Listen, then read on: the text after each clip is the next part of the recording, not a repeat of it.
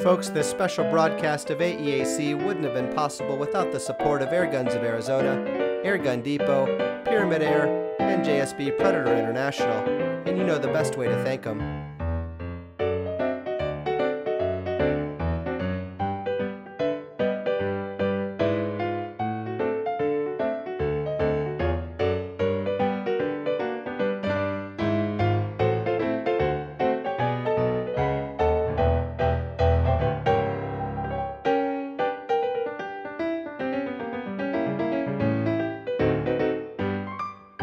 Hey guys, we're here with uh, Jesse Castor at Crosman. I was walking through their booth and uh, these new spring guns, well, not new, new to us, but these are spring guns that we're all very well versed with, have a new look to them.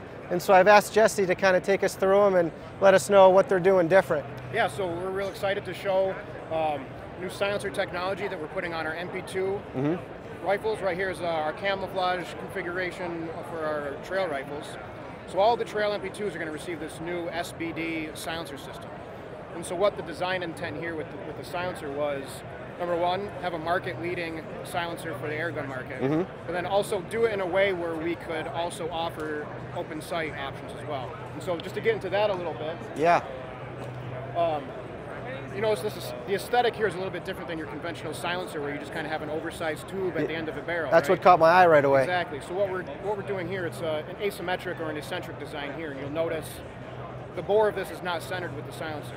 Oh, So I the- see it drops down below. Exactly. So the idea here is how do we maximize the volume to allow our gases to expand to attenuate as much sound as possible without growing concentrically and occluding our sight picture. Yeah, without destroying that line of sight, yeah. Or handicapping the consumer by having to mount their optics so high that their bore axis and line of sight is so far off that you know makes life a lot harder when you're trying to make sure that you're uh, impacting your target. Yeah, it you blows out your trajectory. That's all happened to us before, yeah. So, not raising the sight picture, not raising where you're mounting your scope, we're able to offer an open sight configuration with the rear sight here with a market-leading suppressor here. Wow. And so from an apples-to-apples comparison, um, if you were to shoot the same gun, same platform, an NP2 without a silencer, Mm-hmm. and compare that to this, you've got about a threefold improvement. Yeah, that's what I was going to ask you about. When you look at the side profile of this silencer, there's a lot of volume there.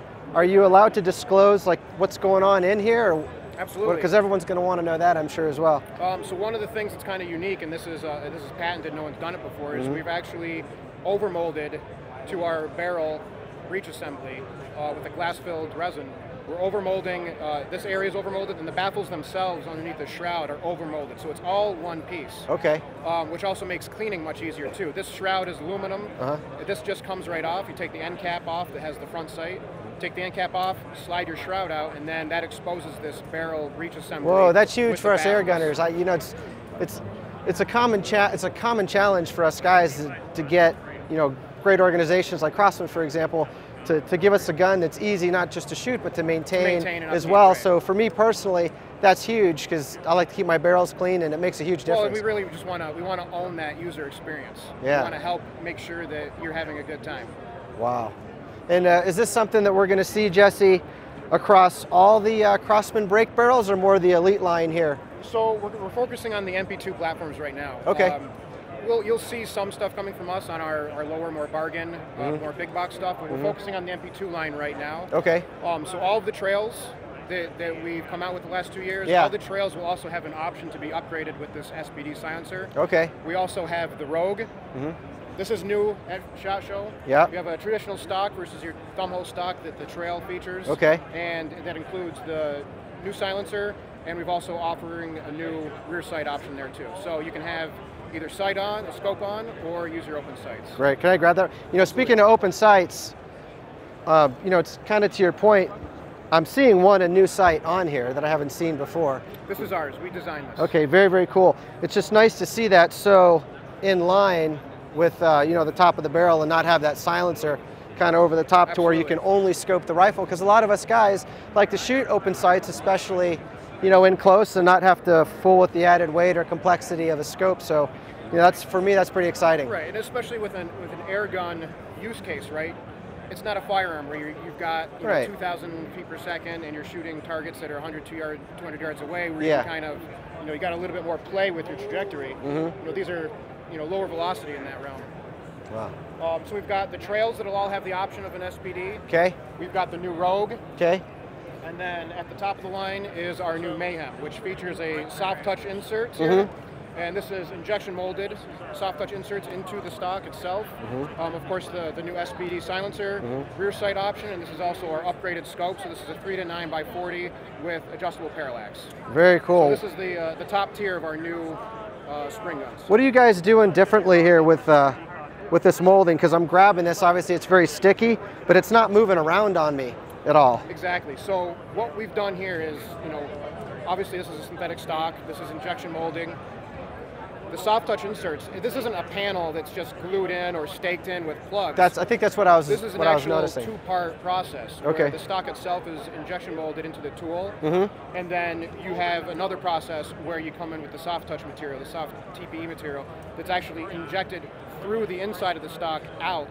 Wow. And that's what's forming the surface that you have here. Okay. So it's very, very robust. Mm-hmm. Uh, if anything was to happen to this, you're not compromising the entire panel. Yeah. You know, if you were to dig at this with your fingers, the only damage would be where you specifically damaged it with your fingers, not damage to the entire panel. All right. Well, I think what Jesse's getting at is that uh, this isn't something that's going to come apart on us, and I can tell you guys, it feels great, and I love the cut, cutting edge look of this uh, of this rifle too. So Steve, we talked Aha. about maintenance, right? Yeah. Maintenance, upkeep. Um, this is a prototype, just to kind of show a cutaway of what's going on under the hood. Mm-hmm. Um, so this is, you know, uh, production will be overmolded to the barrel. Okay. So that'll actually be one piece with that barrel breech assembly. Yeah. That overmolding process really locks it on there. So that's not something that's going to come off. It's not something that's going to rattle, Yeah. create any harmonic effects that are going to either, you know, disrupt the pellet as it's going down the barrel during the shot. Yeah. Or, you know, creating more sound um, harmonics, vibrations. So the way this works, on the gun itself, we have a shroud that'll go over and cover the, these baffles, and then that end cap that's kind of Yep. the end cap secures itself to the shroud. Okay. That's how we're keeping it all together. Very simple. Okay. So if you want to ever clean it, you take that end cap off. Yep. You take the shroud off, and then you have the baffles exposed. Okay. And so if you want to clean it, you know, a lot of people will use like a filament style or a bore snake style. Mhm. You know, if you're coming in from the breech and going out, you know, this primary expansion port right here gives you generous space To be able to do that, sure. And more than enough spaces here, and you know, plenty of angles to get in there and clean each of those baffles. Okay. Yeah, you can tell when you look at something like this. Crosman's obviously put a lot of thought to that. That's just not a couple of baffles and, and some soft felt in the Correct. front, quieting things down. It, uh, it looks like it's going to work well. You say a, a- about three times quieter? Correct. So apples to apples comparison, uh, same exact firearm with and without. We've got about a 15 decibel difference. Very nice. Well, I'm excited to get my hands on it and try it, and we'll certainly do that for you guys back home. Thanks again. You bet. Cool. Thanks, buddy. You got it. So guys, I was on my way admittedly out of the Crosman booth and I noticed that the Marauder does not look like the Marauders that I have at home. So I've asked Jesse again to take us through it and let us know what's going on here. You got it. So this is our new Marauder. It's the Marauder Field and Target Edition. What we've done here is we've taken our award-winning Marauder that everyone knows and loves. Yeah. And what we've done is we've added a regulator to it. Now, Great. very apparent little differentiation when you're looking at it. Regulators under here. Yeah. So of course, what's a regulator do for you? Yeah, go It ahead. gives you shot-to-shot velocity, so you're improving your accuracy. Which already a very accurate, very stable platform. Yep. Even more so with, uh, with regulated velocity. You're also getting a lot more shot count. So with the 177, just as a reference point, uh, up to 70 shots at velocity with this regulator. Wow, pretty good. Now, what we're even more excited about, not Yeah. just the fact that we're offering this regulator. There's something better than the regulator? factory, is that it's off and on. What? So there's a lot of people that love the Marauder for hunting Okay. with an air rifle. Yeah. And of course, when you're regulated, that doesn't come for free from a physics standpoint. You sac- you're going to sacrifice your top end velocity. Okay, sure. To get the number of shots. Gotcha. To be regulated, to have that consistent velocity. Yep. If you're someone that primarily wants to hunt, or hunting season comes along and you want to take your target rifle, Yeah.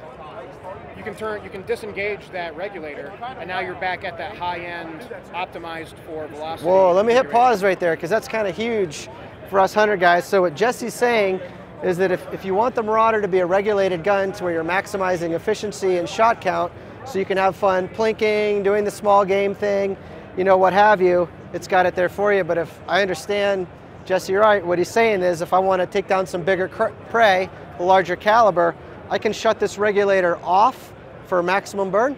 Absolutely. Wow, that's cool. So is the regulator going to be available in all your calibers? Uh, it'll be available in 22 and the 177 caliber. So Okay. The 25 caliber Marauder will still be the unregulated version. Okay. Um, and the rationale behind that is, you know, the 25 caliber use case is primarily a hunting use case. Sure. And so you're not really concerned with sacrificing energy to get a higher shot count. Right, and you guys do have a good tune. You do have a nice tune on the 25, I know. I've got one at home. And these coming out of the factory, they're actually going to be tuned for the regulator off Uh-huh. configuration. Uh, the rationale behind that is that we want to make sure that when you open this up out of the box, that you're going to have the best experience possible. Okay. And so, if you are a guy who cares more about that top end velocity, Mm-hmm. and you're buying the regulator just as an insurance, so maybe later on you want to, you know, compete with us in a field and target event in your neighborhood or something like that. Yeah, okay. That you can have that option for you. But if you're primarily going to be hunting with it, out of the box from the factory, this is going to be tuned. Very cool. And it's basically, it looks like a Gen 2 housing. I don't see really anything terribly different here. Well, what we wanted to do is try and maintain as much of that uh, Marauder aesthetic that everyone Okay. already knows. There's a lot of brand recognition, Sure. a lot of equity in the Marauders, so we didn't want Yeah. to change a whole lot, just enough to where we can offer a little bit more value. Um, and you know, from a value standpoint, I don't think there's anything else in the market that gives you this amount of versatility, Mm-hmm. this amount of user configurability in a platform from a factory. No, that's definitely exciting. And, Cool. uh, the goal here is from an act, just be as accurate as we can out of the box. If you want to compete in a field target, this is the one to go to. Well, and is that standard or is that going to be an option? Or are they all going to be built that way except for the 25? Uh, except for the 25. So we're not. This is not going to um, replace the Marauder. The Marauders that we currently have that are unregulated Okay. still exist in the market. Okay. They're going to be in the portfolio. Okay. This is just another addition. So for the guy that, or gal that wants is okay to spend a little bit more money and get a little bit more, it's now there for you. Amen. And it's really not that more. So the MSRP on this is 619. Great. It's a good, it's a good value. Awesome. Jesse, thanks again, buddy. Really got it. appreciate your time. You've been great.